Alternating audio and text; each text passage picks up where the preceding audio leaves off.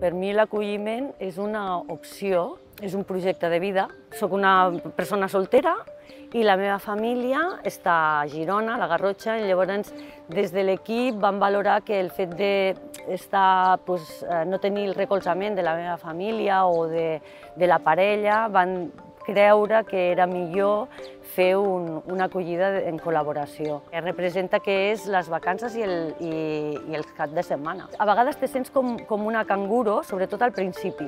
Te sents com que vas a buscar i surts i vas a passejar, vas a la piscina, però, però tot això es va transformant, perquè tu crees un vincle amb, amb, amb la personeta no? i tot això se, se transforma amb el temps i deixa de ser de caps de setmana i deixa de ser de, de vacances. Per mi era molt important perquè d'alguna manera, a nivell personal, era el que jo volia fer, volia ser mare, en aquest cas no podia ser i vaig decidir fer-ho així, però també representava mm, a nivell professional tot allò que jo volia fer. Tens moments de molta gratificació i de molta alegria quan, quan veus que el que estàs fent té un sentit. El que viuen aquests menors només ho saben ells.